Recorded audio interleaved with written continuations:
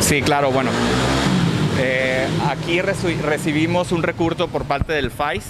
El monto total, me refiero a lo que es infraestructura, eh, las motocicletas, la rehabilitación de la patrulla, uniformes y equipo para que pudiera eh, comenzar a trabajar este tránsito municipal, asciende a un poco más de 600 mil pesos.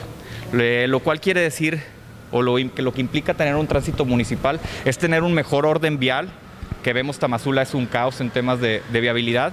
Eh, también, de igual forma, eh, nos ayudará a prevenir accidentes. Tenemos muchos accidentes de motociclistas y muchos accidentes en general. Entonces, el tener un tránsito municipal nos ayuda a prevenir este tipo de incidentes. Es un gran logro para nuestra administración, es un gran logro para Tamazula y es un gran avance para lo que siempre hemos puesto eh, como prioridad, que es el orden en nuestro municipio.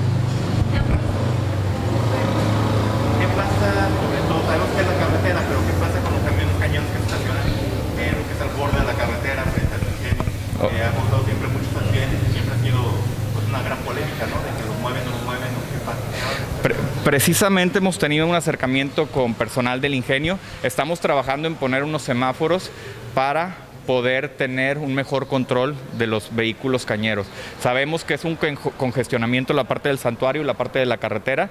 Tránsito Municipal va a colaborar con nosotros. Vamos a tener la facultad de multar a los cañeros que se estén estacionando donde no, pero hay la buena disposición y la buena voluntad del ingenio para podernos abastecer de semáforos y de hacer una estrategia para que este tipo de, de sucesos no se estén, eh, no estén pasando constantemente, ¿no? Porque justamente, como ustedes lo mencionan, hay accidentes precisamente porque los cañeros se, estacionan en lugares donde no.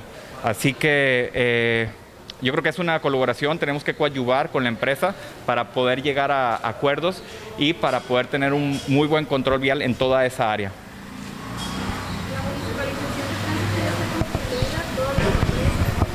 Sí, claro. De hecho, como lo expresó el director en, en, elaboración, se acaban de firmar convenios, se acaba de hacer todos los trámites legales. Eh, ya pasó ante Cabildo lo que fue el reglamento y todo está ya bien fundamentado y el día de hoy arrancamos el tránsito municipal. ¿Cuánto personal hay? Eh, tenemos, vamos a empezar con cuatro elementos y el director de, de tránsito. Eh, con esos comenzamos por lo menos para darnos el abasto aquí en la cabecera municipal y según las necesidades y según los requisitos o lo que nos recomienda el director de, de vialidad, vamos a ir integrando más personal.